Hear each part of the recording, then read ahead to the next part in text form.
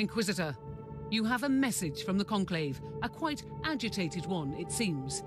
It gave the astropath nightmares and fits. I was expecting something like this. Let me hear it.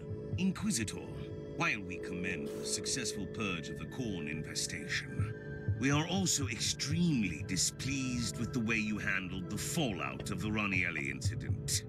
Not only did you openly defy our order, you have also initiated a new conflict in the subsector. There is a reason why the entire existence of the Storm Watchers is a highly classified secret. As you have already concluded, the Void Rippers are former traitorous Storm Watchers who fled the warp millennia ago, in the belief that all their brethren perished. Then they began their insane crusades. They are now aware of their existence again and launched an offensive against the secret Stormwatcher homeworld in the Tarantia system.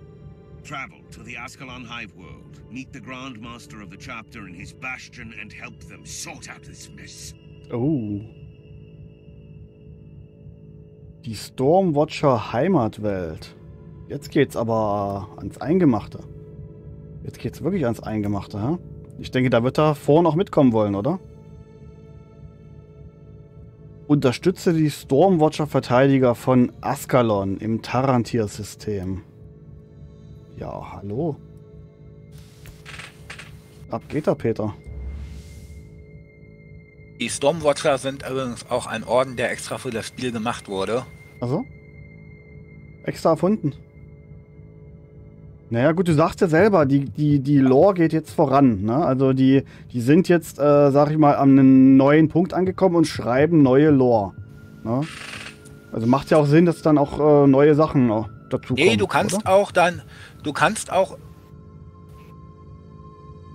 kannst im Figurenspiel auch selber deine eigenen Orden erschaffen. Ich, da muss ich aber wieder auch wieder ein bisschen ausholen, um das zu erklären, warum das so ist. Äh, ich bin einfach super cool. Ich gründe jetzt einen Orden und alle folgen sie mir. Bumm. Lore. es, äh, in so einem System, was wirklich so krass religiös Ja. ist, äh, da, da, da, da, da hätte ich Angst, wenn ich da irgendwie sage, ich gründe jetzt einen neuen Orden, dann, dann, dann kommt der Heresie-Orden und sagt, Ketzer, stirb! Hätte ich schon ein bisschen Angst, so einen neuen Orden zu gründen. Müsst ihr aufpassen.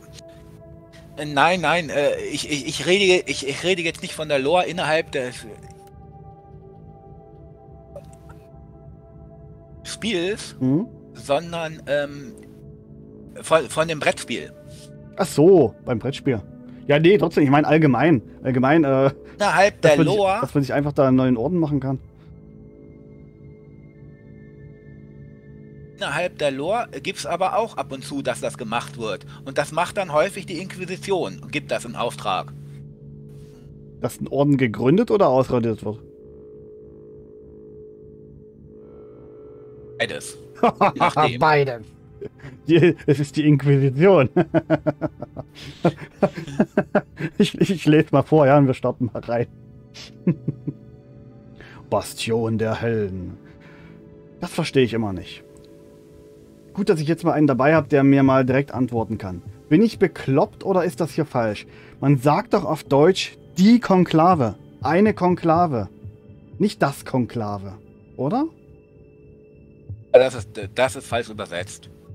Hast recht. so Gott du sei. Dank. Ich sag das seit Anfang an des Spiels. Jedes Mal, wenn die mir mit dieser scheiß Konklave ankommen, sage ich, das ist doch falsch. Das heißt doch auf Deutsch die Konklave. Genauso wie Bonus Sonus. Bonus Das habe Sonus. ich aber tatsächlich vorhin mal gegoogelt. Bonus Sonus. Hat mir bis jetzt noch keiner erklärt, was das sein soll. ist es einfach nur ein Bonus, oder? Das gibt es gar nicht. Das ist auch ein Übersetzungsfehler. Ja, ist nur ein Bonus. gut. Ne, oh, Bonus Sonus. Was für ein Ding. gut, also. Die Konklave war nicht erfreut über meine Ermittlungen beim Ranielli-Vorfall. Ja, die haben mir eigentlich gesagt, ich soll dort nicht hingehen, ne? Ah, ja, das macht mich ein bisschen stutzig. Vielleicht wussten die schon davon. Oder vielleicht hat da einer von denen sogar die Finger drin. Ich weiß es nicht. Ich habe da so ein Gefühl. Ja, immer vom Schlimmsten ausgehen. Äh, die Verräter, die sich jetzt als Void Rippers bezeichnen, waren in dem Glauben, dass alle ihre Brüder tot sind. Jetzt ist ihnen deren Existenz bekannt. Shit. und sie haben eine Offensive gegen die gehe geheime Heimatwelt der Stormwatchers im Tarantir-System gestartet. Also nur weil, nur weil dieser Kaios vom Schiff mitgekommen ist, wussten die, wissen die jetzt, dass es die original Stormwatchers, die nicht korrumpierten Stormwatchers, noch gibt. Und deshalb wollen sie die jetzt ausradieren oder vielleicht sogar korrumpieren, wer weiß. Ich habe beschlossen, zur Askalon Makropolenwelt zu reisen und ihnen dabei zu helfen, dieses Chaos zu beseitigen. Ich dachte schon zu helfen, sie zu korrumpieren. okay. Wir müssen die Stormwatchers retten. Ich verstehe immer mehr von der Story. Jetzt wird es irgendwie interessant. ist, am Anfang bin ich einfach bloß durchgelaufen, Freut mich, äh, gefällt Maschinen mir. hingestellt, macht mal kaputt. Alpha Pariah, was ist das? Egal, macht mal kaputt.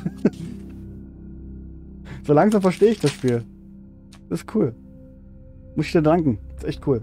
Und ich denke, viele auch, äh, die ja zuschauen, haben auch nicht so viel Einsicht in die Lore. Das ist echt toll, jemanden dabei zu haben, der mal was erklären kann. Meanwhile, all scanners and Vox transmissions confirm that this hive is under attack by Chaos forces. What is this place exactly, Thorn?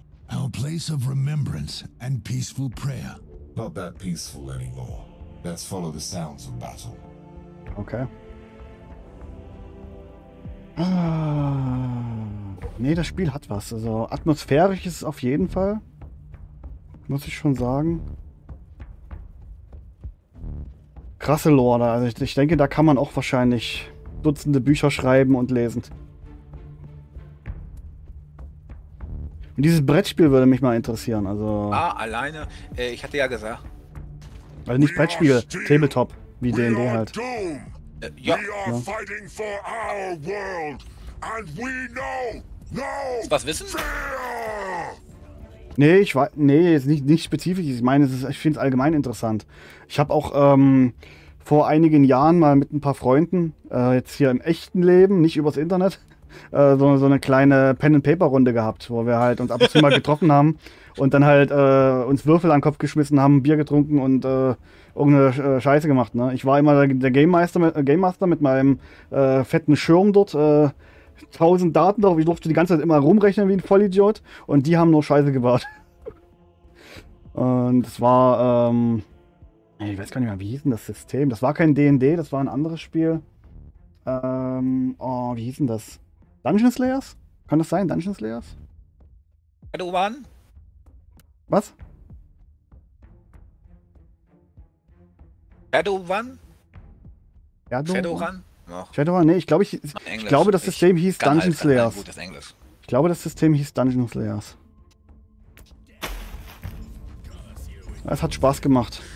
Bis dann halt, äh, bis halt einer immer keine Zeit hatte, dann hatten immer zwei immer keine Zeit und dann irgendwann halt aufgelöst. Inquisitor, whatever you wanted must wait. I'm quite busy, as you can see.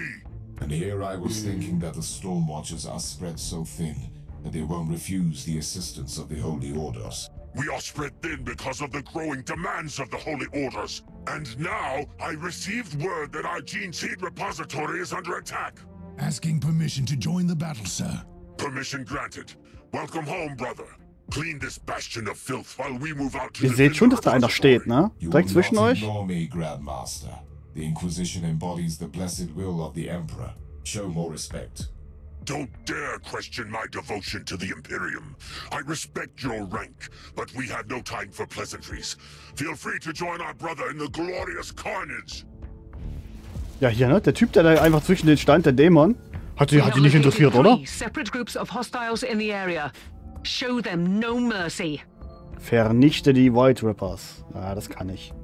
Das kann ich. Bum, bum, bum.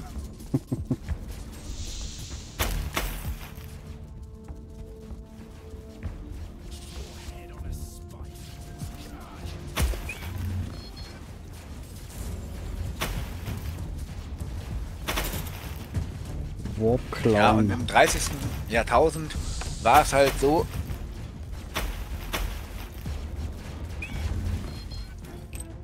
dass von den äh, 18 Primarchen die Hälfte Inquisitor, quasi couldn't you leave this affair to the Adeptus Hälfte zum Chaos übergelaufen ist. Was? If it weren't for our meddling on that outpost, this Und- hive might still be at peace. Undankbare Kinder.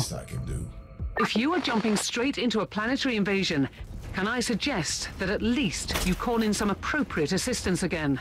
You must be referring to our friend, the noble Sir Ambrose Caradoc. The pilot of the Crimson Wanderer, indeed. I like the idea.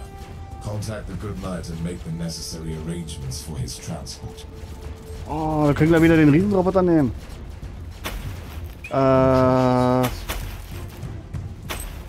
die Kinder vom Imperator sind einfach so zum, zum Chaos übergetreten?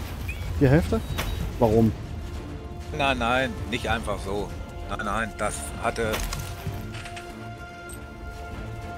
Aber wa- warum sollten die? ihre Gründe. Das, das, das, ka- äh, die, Ähm, die Dämonen wollen doch bestimmt die Ja, Menschheit vernichten, grob oder? gesagt, wie das immer so ist.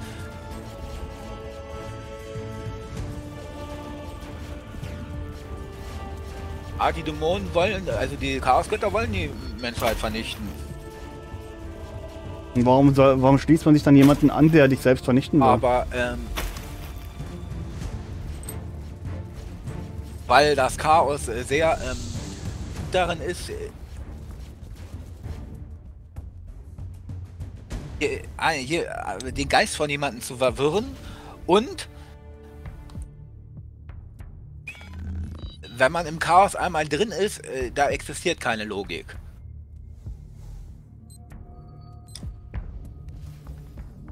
So ein Anhänger des Chaos zu fragen, warum er die Menschheit vernichten will, äh, das ist äh, eigentlich überflüssig. Okay. Tut's einfach. Weil Kornanhänger, weil die, die, die, die roten äh, Space Marines mit den Stacheln, die du gesehen hast, Mhm. ähm, sind die World Eaters, die äh, ja, äh, leben quasi nur den Charakter von Korn halt nach und wollen halt nur Blut vergießen und Schädel abschneiden. Oder Köpfe abschneiden. Ab mit dem Kopf! Die sind. Oh, die sind Berserker und den. Äh, Inquisitor, I am contacting you through this closed channel. Do you das copy? andere ist ihnen egal. No, this is just a lull. Anyway, you must be the Inquisitor who ventured into our ancient outpost. We really need to talk. Later, I suppose. We have incoming.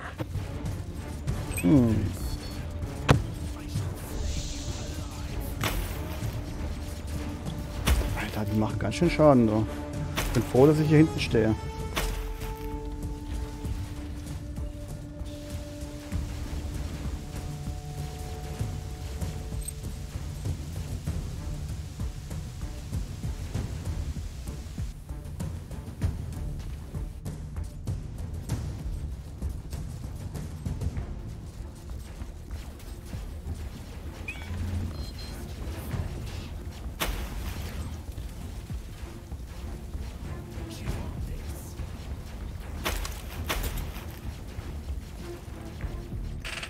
Von der Lore her gibt es zum Beispiel auch gar keine Inquisitoren, die dem Maschinenkult angehören. Ach so? Also so Tech-Adeptus gibt's nicht?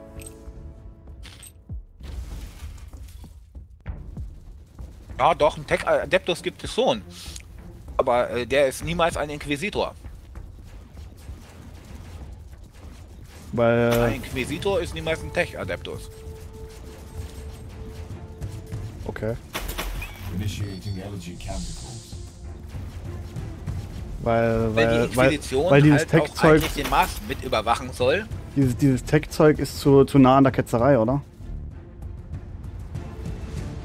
So wie ich das verstanden habe, gehen, Nein, gehen diese äh, Mechanikos Tech-Zeug- Nein, nein, ganz im Gegenteil. Aber diese Mechanikos-Typis, die ich bis jetzt getroffen habe, die waren alle Äh, ziemlich äh. ketzerisch.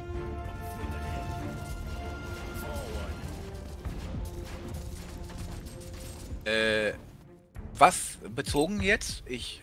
Die ganzen Experimente, die die machen. dieser war, war, nicht äh, dieser, die- dieser die, Die waren Gelehrte. ja auch verboten, die die da gemacht haben. dieser Gelehrte, der war da auch so ein, so ein Mechanikus-Typi. Der war da auch mega, me, megamäßig ketzerisch. Mit seinen Experimenten. Also ich weiß nicht, ich habe bis jetzt nur Ketzer get- getroffen. Liegt wahrscheinlich Äh. daran, dass ich ein Inquisitor bin und deshalb Ketzer jage, aber. Nee, die haben ja. Sie, sie, sie, sie, haben. Haben zwar diesen Paria erschaffen, aber äh, ähm, das habe ich noch gar nicht. Das habe ich noch gar nicht erwähnt. Ähm, Maschinenanteil in, also der menschliche Anteil in den Maschinen ist auch äh, deswegen da, weil äh, in den 10.000 Jahren, seitdem der Imperator auf dem Thron sitzt, sich ähm, quasi äh, die Religion des the etwas verselbstständigt. I'm only saying that ours is not a huge chapter, and most of our brothers are on covert assignments all over the sector.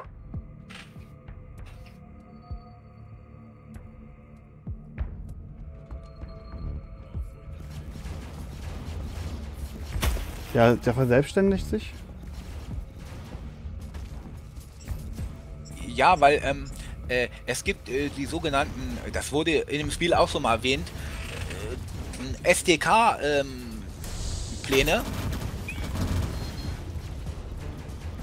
Oder so ähnlich. Ich weiß nicht mehr genau, wie sie abgekürzt werden. Auf jeden Fall sind das Konstruktionspläne, mit äh, denen gewisse imperiale Maschinen grundsätzlich den für die einfachen Bürger zum Beispiel für Planetenkolonialisierung früher äh, konnten die damit alles herstellen, was sie brauchten. Das heißt, du hast quasi äh, in die Maschine auf der einen Seite einen Stein reingeschmissen und auf der anderen Seite einen Panzer rausgekriegt. Oh, okay. So ganz grob gesagt. Aber durch die 10.000 Jahre des äh, gro großen Krieges jetzt hat sich der Maschinenkult so entwickelt, dass es im Maschinenkult nicht mehr erlaubt ist, neue Technologien zu erfinden. Okay. Das heißt, alle existierenden Technologien werden als heilig angesehen.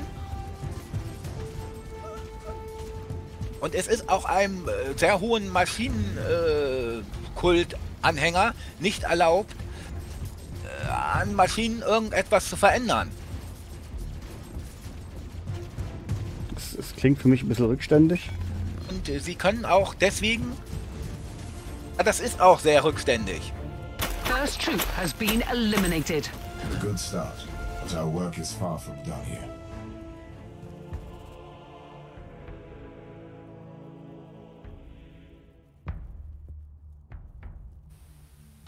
Sie sammeln auch ähm, alles.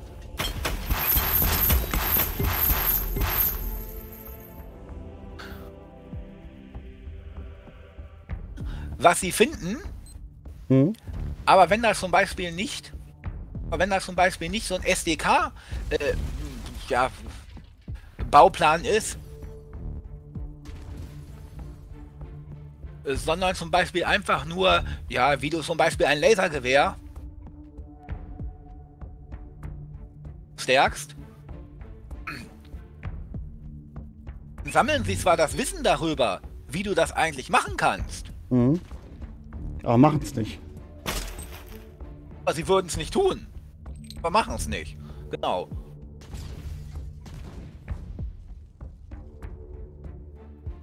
Sondern sie sammeln halt in riesigen Speichern das ganze Wissen und horten es im Prinzip eigentlich nur. So, you must be the Inquisitor Jeder, who der halt opened up nicht the zum chest of Maschinenkult- secrets and terror. Before you start pointing fingers, you must know that I know all about the Void Rippers. You don't know anything. You are ignorant of what it's like when your brothers are so overwhelmed with the fury and rage that they slowly succumb to madness and set against you. I might have some ideas about that. Hmm.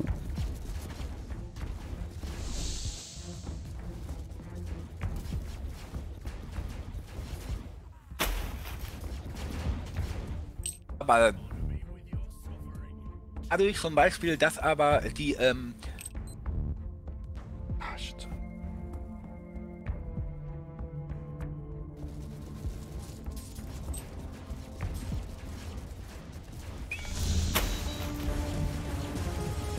Das die? Ja, dadurch, dass aber die, die Mitglieder des Maschinenkults so stark an den Omnisire glauben, Mhm. Kann es sein, dass sich im Warp ein äh, quasi Gott gebildet hat. Tatsächlich, ja, das ist, was der Maschinenkult für den Omnisire hält. Dadurch ist es auch so, dass sie ihre Waffen zum Beispiel mit heiligen Ölen und so einreiben. Und-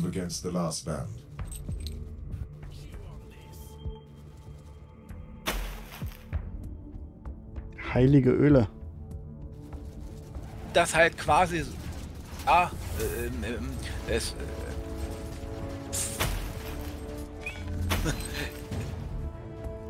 äh, ist jetzt ein bisschen aus dem Christentum übernommen. Sie haben halt auch sowas wie eine ähm, Dreifaltigkeit oder Dreiheiligkeit, Der Vater, der Sohn, der Heilige Geist. quasi aus äh, ja, aber in dem Fall ist es auf den Krieg bezogen. Und äh, damit ist einmal halt der Bolter gemeint, die Standardwaffe der Space Marines. Mhm. Äh, Der Melter, äh, auch eine Waffe im Spiel. Und der Flammenwerfer, ah, weil, naja, wie bei den Feuer reinigt. Heraticus-Anhängern der Inquisition halt, ne? Flammen zum Reinigen, genau, Feuer reinigt. Ist, ja, das, das sagt man ja schon immer so. Verbrennt die Hexe, dann ist sie gereinigt.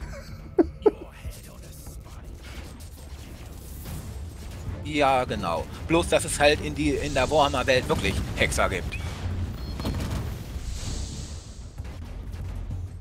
Äh, Die Psioniker des Chaos werden halt auch Hexer genannt. Tatsächlich halt die Anhänger von Zinch, Mhm. Anhänger von Korn zum Beispiel, haben keine Psioniker, weil äh, äh, Korn und Zinch sich am allerwenigsten auskönnen, au, äh, ausstehen können. Der eine ist wahrscheinlich einfach nur ein dummer Schlechter, der andere ist halt ein schlauer Planer oder sowas. Ne? Könnte ich mir vorstellen. Ja, genau. Äh, da, ja. äh, genau. Ziens ist derjenige, der typischweise immer Pläne in Pläne und noch mehr in Plänen hat. Und das innerhalb. Ja, äh, für Jahrhunderte halt geplant, so ungefähr.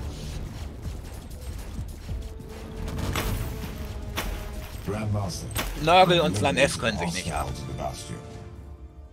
The repository is also being pacified as we speak. Aber eigentlich können sie sich alle vier untereinander I have reports of a full-scale invasion staged in the local void port, and we are tied up in Sector Zeta. I could be of some assistance. Honestly, any help would be most welcome, Inquisitor. I will send you the details.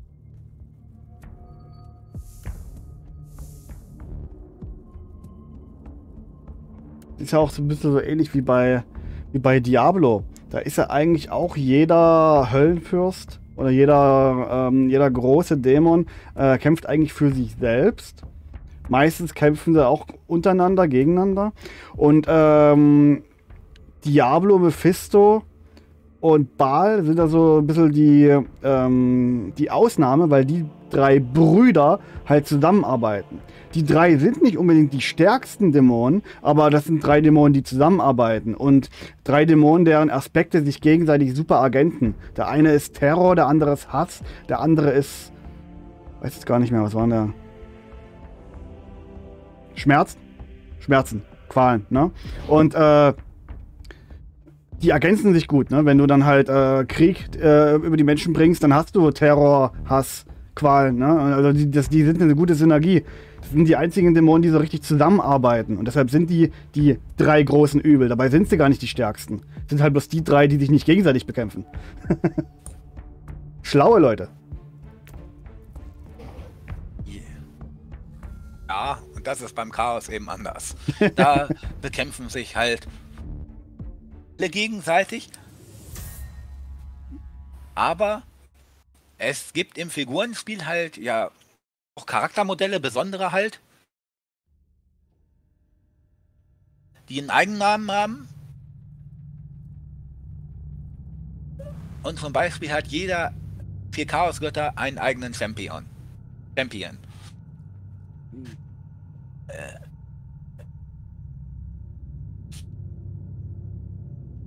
Es gibt aber auch noch Abaddon, der betet das ungeteilte Chaos an, also quasi diesen Stern, das alle vier Chaosgötter äh, darstellt. Mhm. Und Der hat von allen Vieren äh, Kräfte bekommen. Und der ist auch der Einzige, der in der Lage ist, der ist auch ein Space Marines mal gewesen. Okay. Ist als einziger in der Lage, alle Dämonen der verschiedenen Chaosgötter und auch alle äh, verschiedenen Space Marine, äh, Chaos Space Marine Orden äh, zusammenzuführen und führt dann häufig, äh, naja, äh, so alle paar tausend Jahre mal einen Großangriffskrieg gegen, gegen die Galaxis. Oha. Oha. Im Moment ist es der 14. oder 13. seiner Kreuzzüge, die Mhm. er aktuell gerade gegen das Imperium führt.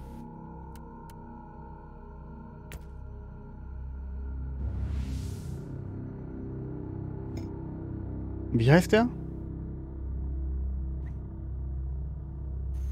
Abaddon. Abaddon. Abaddon. Gibt's den nicht auch irgendwie bei Abaddon? Abaddon. Sieht auch noch aus wie ein ganz normaler Space Marine ist, mehr oder Abaddon. weniger. Mhm. Sieht aus wie der Space Marine. Okay. Da hat er alles richtig gemacht. Ist nicht zum hässlichen Dämon geworden. Ja,